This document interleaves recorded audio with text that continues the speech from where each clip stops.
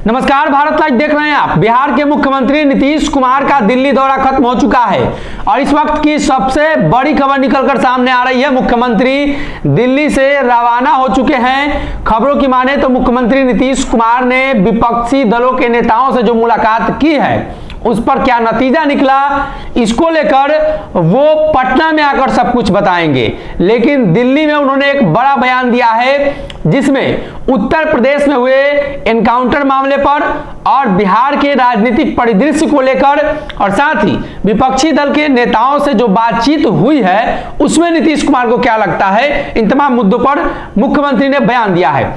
सबसे पहले सीएम नीतीश ने बयान दिया है कि किन किन नेताओं से मुलाकात हमारी हुई है, आप लोगों ने देखा ही है। साथ में मुख्यमंत्री ने कहा कि सभी लोगों की एक ही राय है कि विपक्ष को एक मंच पर आना चाहिए। अब इसको लेकर हम लोग प्रयास कर रहे हैं।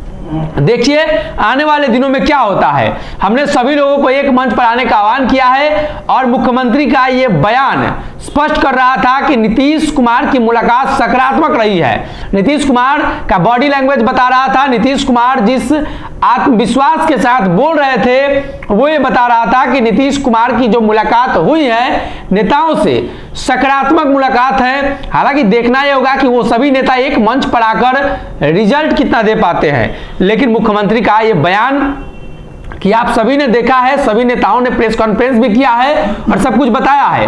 वही दूसरी तरफ़ यूपी में जो एनकाउंटर हुए हैं, उसको लेकर भी नीतीश कुमार ने कहीं ना कहीं अपने बयानों के ज़रिए स्पष्ट किया है कि भारतीय जनता पार्टी वाली जो सरकार है, उसकी रणनीति क्या है। साथ में मुख्यमंत्री ने यह भी स्पष्ट कर दिया है कि आने वाले दिनों में बिहार लेवल पर वो क्या काम करने वाले हैं।